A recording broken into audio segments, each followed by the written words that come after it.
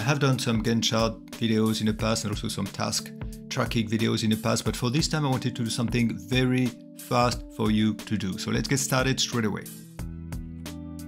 So I've just had copy and pasted all the column headings so I can go through them with you one by one. As we progress, I can explain the meaning of the column and, and how it's been calculated. So first of all, in blue are the things that are manually input. Those ones will be all calculations. So let's get started. First, that's a description of the task. So you could put task number one. And then the estimate. So the estimate are, you know, you can put days, I suppose, or you could put hours or months um, as long as the number is consistent. I will do it with days. So for this one, for instance, let's put 10 days. And here we'll be showing how much is completed. So you can put 50%, for instance. In a, another video, I said I don't really like the, the percentage. I'd rather give uh, the amount of days outstanding. So that's something that you can uh, do uh, later on if you prefer. But for the time being, I will just keep a percentage. Those are calculated. How much is done when you do 50% of a task? That has 10 days. So you multiply the estimate per the completion and that gives you five days. And how much is left to do? So that's very easy. So you do the estimate less what has been done. Wingdings is used to show the tick on the chart. That will show only when the task is completed. So what we have is if this completion is equal to one, then we will show this symbol. Otherwise, we'll show nothing. So now we need to go and fish for that uh, symbol. So what we do, insert symbol. Uh, we go to Wingdings and the one that we want is the tick. We have the tick here. We'll insert it. Okay, so it's inserted at the wrong thing, so what I should do is I will want to put it there. So that's it. So once the, the completion is 100%, it, show, it should be showing you this symbol here. And now what we can do is to change this whole column and put it into the Wingdings font. Wingdings font. Not started. So this in this I calculated the task itself is started or not. So that's an easy one as well. If the completion is equal to zero, then not started. One, otherwise zero. Not started if the completion is greater than zero and if it's less than 100%, then I will put one, otherwise I'll put zero. So here I'll put one when the task has started but not completed. For the completions, uh, if the completion is equal to one, then I put one here. Otherwise I put zero. So this is a dummy for a tick. So I will it will come to light later why we use this. And for the moment, please follow me blindly. Let's just put one for this one and four for the other one. So let's just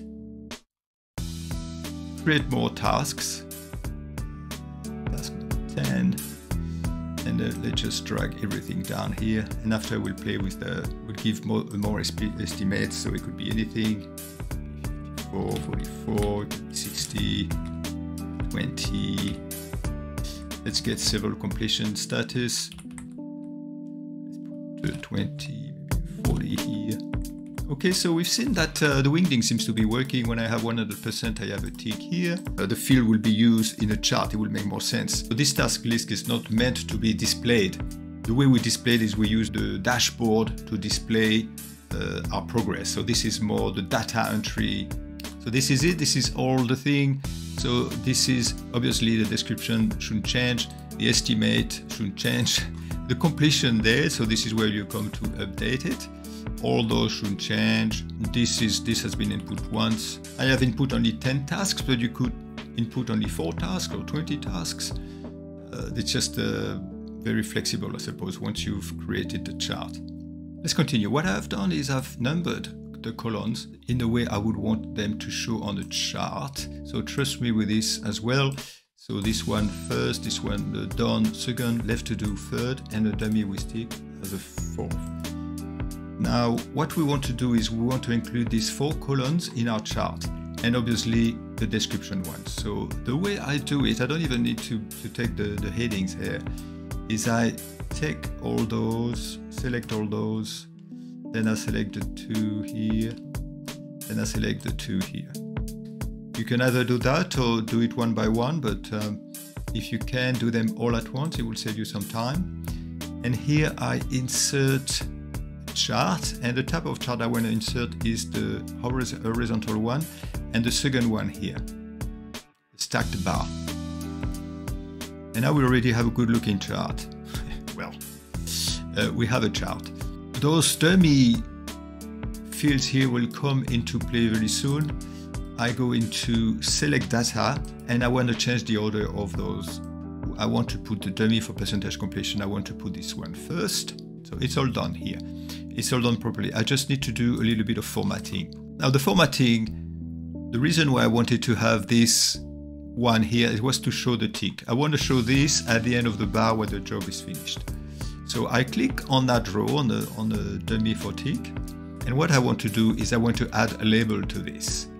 Add label, and it's going to give me the wrong label. Uh, it's going to show me one as label, but it's not that that I want. I want label from another uh, column. So I go format data label, and here I remove the value that's one. If I click on value here, that removes it. And I want to take a value from cell. So that allows you to select a few cells to give you this instead, give you the label instead. So what I do is I go to the wingdings and now hopefully it all makes sense.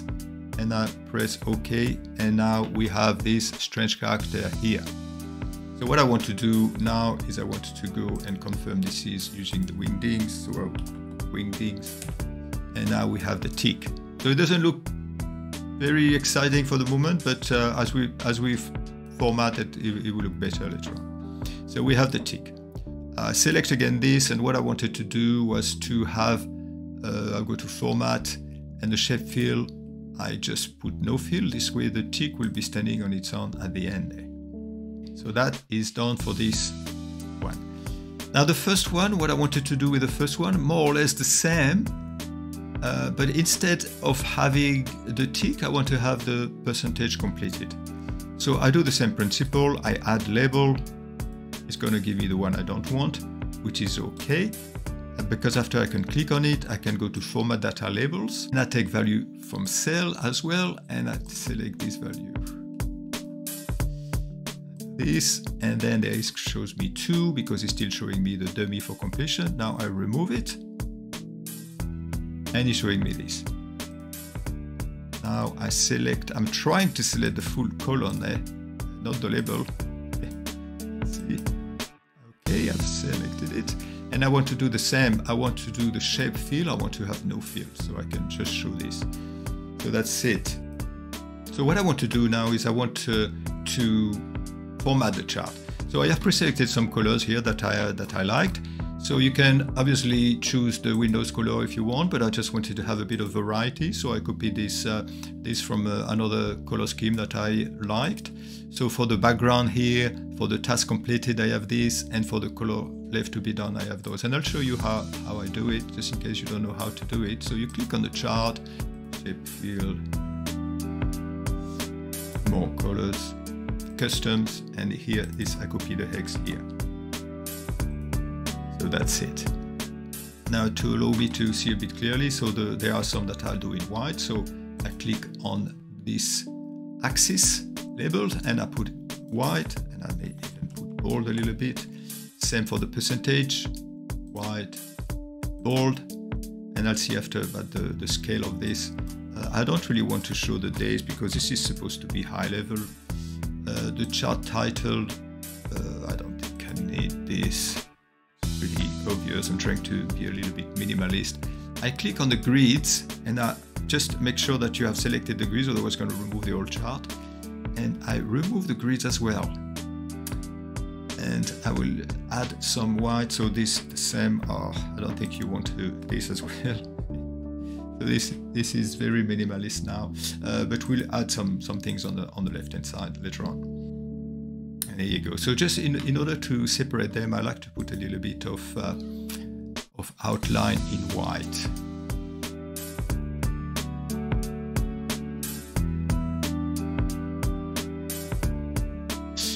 We have the ticks, we have everything. So in order to do the left-hand side of the chart, I need to do something now. I need to uh, do some calculation. So I calculate uh, the overall estimate of all my tasks. So I'll just put here, where is AutoSum here. So I'll calculate the, the total of this, uh, the total that has been done, the total that's left to do, and then that allows me to calculate the percentage.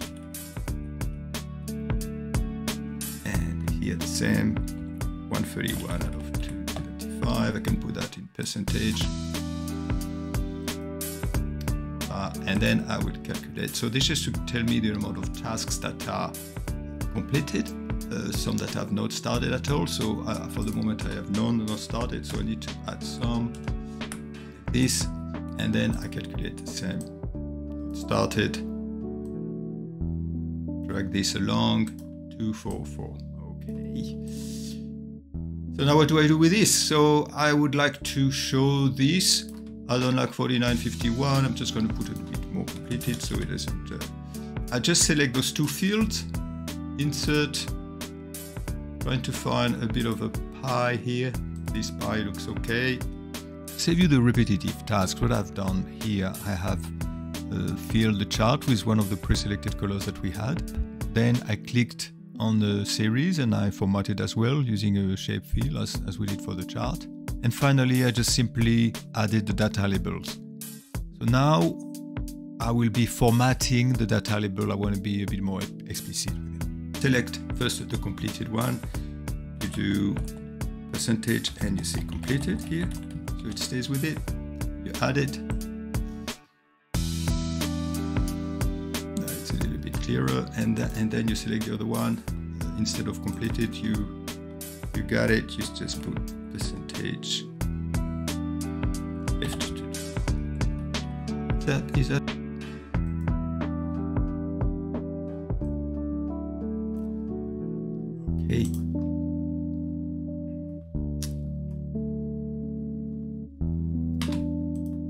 Chart title I can put the overall work completion because this is just the amount of days. This is not the, the percentage completion of each individual task. So it's overall work completion. This press on it. it. Now the other chart that I wanted to do was the, the amount of tasks that are completed I suppose I could do this instead. I select the headings, I select this, insert. I want a different type of chart to show a bit of variety. So let's just take this one. Uh, and then after you're left to formatting. So if I add the data labels, I can click and format data labels. Take me here. So value from cells. So the category name. So let's uh, do, do it this way. It's a little bit different just to show you if you feel this is not visible enough, you can you can still manipulate this. Make it maybe a tiny little bit clearer. You remove this that is not required anymore. Uh, you put a beautiful chart title, like task completion. Task completion. Status. And that's it. Bold. I took the wrong blue for the back of that chart.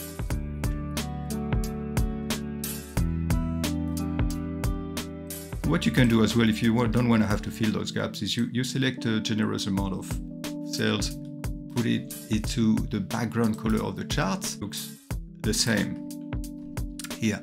And this chart, I need to remove the format, shape outline, then it, I think from there on it's a matter of taste. Uh, what I have also uh, as, a, as optional is I like to add uh, some, some, icons. So you go into icons and uh, what is a good symbol of something that is completed. So I have imported those two things. So straight away I'm going to put them into, I'm going to put them into white.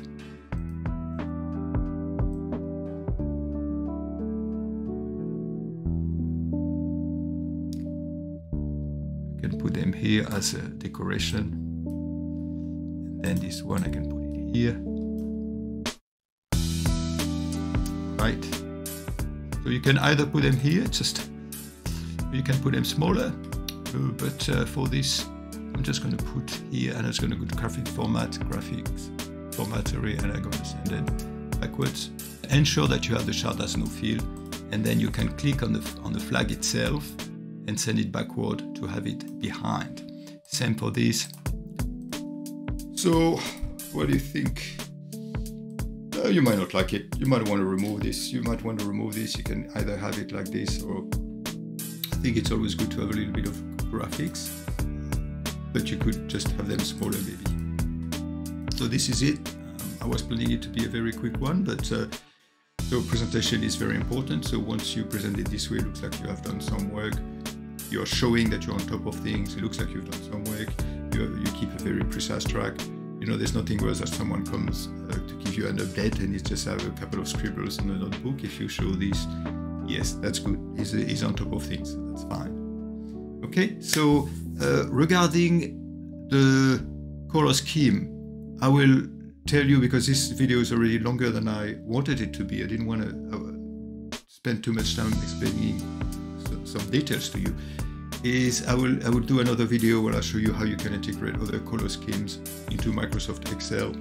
Okay, I'm going to close this. Thanks for watching. Hope it was not too long. I'll see you in my next video. Please subscribe. I'll do plenty of those.